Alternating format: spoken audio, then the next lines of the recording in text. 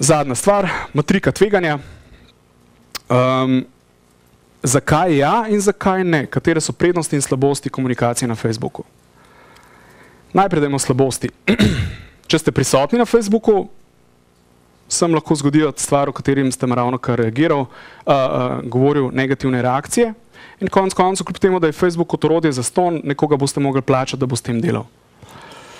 Uh, če ste odstot, odsotni iz Facebooka, ne boste sodelovali v pogovorih, ampak šment, o vas se vseeno govori, kljub temu, da vas sploh ni gor. Nimate kontrole, ne veste, kaj se dogaja, nimate monitoringa. Um, če se zgodi panika, da vas pluvajo, vi niste pripravljeni na napad.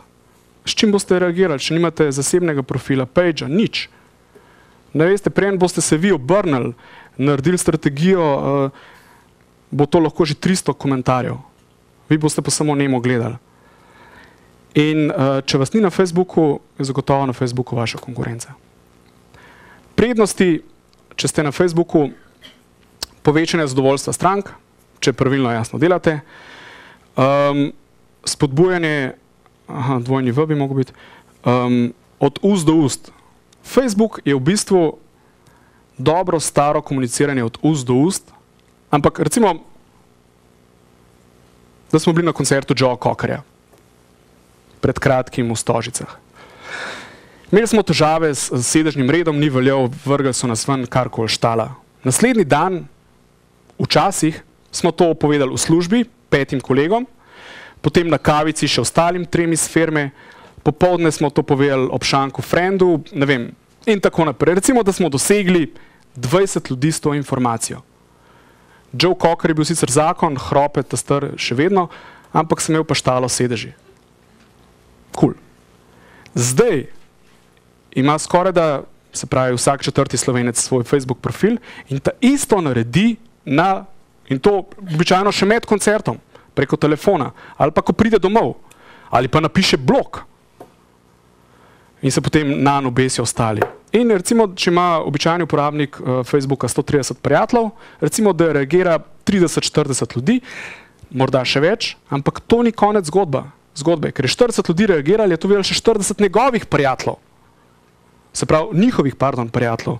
In kar naenkrat se to razširi, zato jaz rečem, da je Facebook od ust do ust na steroidih. Je pa podobna zgodba.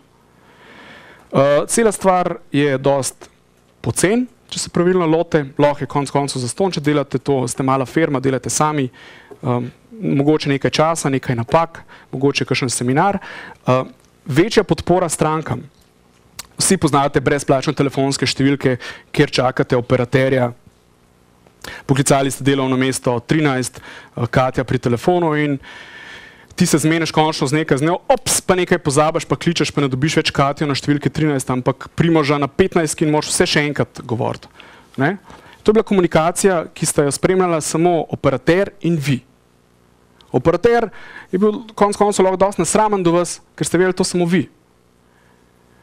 To je nov komunikacijski kanal, kjer vi isto operaterje, v tem primeru skrbnika strani, vprašate, hej, kdaj bo pa uh, optika prišla v našo vas? Verjemite mi, če na Facebooku komunicira pravilno, bo v parih urah odgovor ali pa še prej. In odgovor do odgovor, zakaj? Zato, ker niste več to operater in vi, ampak ste vi operater in vmes vsi, ki smo v tej dvorani in še več. In vsi spremljajo to komunikacijo, kar naenkrat je odprta In blagovne znamke zelo razmišljajo, oziroma zelo pazijo, um, kako se obnašajo.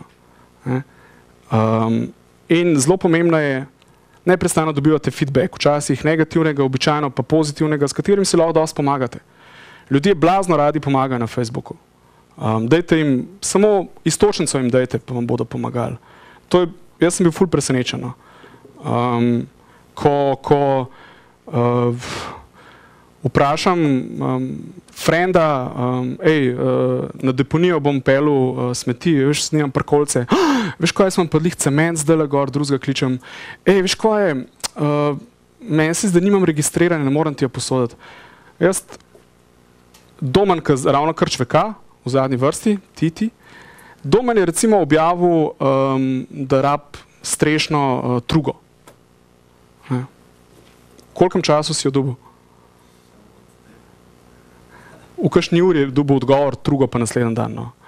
Um, in ljudje ali na zasebnih profilih, ali pa tudi na javnih, če pravilno komunicirate, blazno radi pomagajo. Ne bodo vam zaradi tega prinesli več denarja, ampak mogoče vam bodo pomagali pri odločanju. Uh, če ste odsotni na Facebooku, konec koncev so tudi prednosti. Nimate situacije, ki je ne kontrolirate popolno, imate še vedno svoj klasičen korporativni uh, sporoč, sporočilni kanal. Um, old school po domače. Um, kratkoročno, dobro, ni novih stroškov.